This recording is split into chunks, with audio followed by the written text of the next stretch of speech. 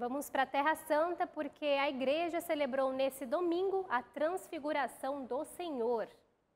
Olha, no Monte Tabor, região da Galileia, a missa marcou o início do período jubilar dos 100 anos da construção da Basílica, projetada pelo arquiteto Antônio Berlucci, também considerado o arquiteto da Terra Santa.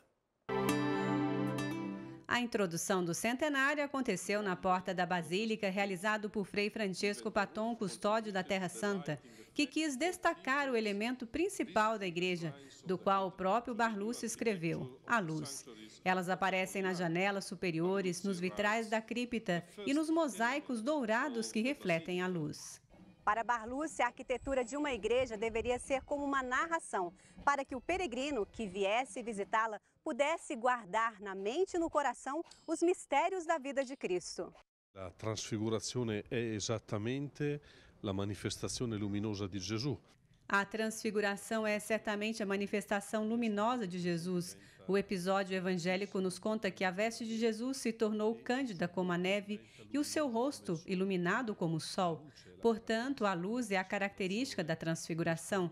Essa luz que brilha diante dos olhos dos apóstolos para que possam intuir que Jesus de fato é o Filho de Deus. Que Jesus é realmente o Filho de Deus. Uma especial recorrência que coincide com aquela da Basílica do Getsemane, que consente aos fiéis de obter indulgência para si e para os defuntos através da peregrinação aos santuários da Terra Santa, de modo particular ao Tabor e ao Getsemane. Já sono le Santa. As indulgências são concedidas em todos os santuários da Terra Santa que cuidamos.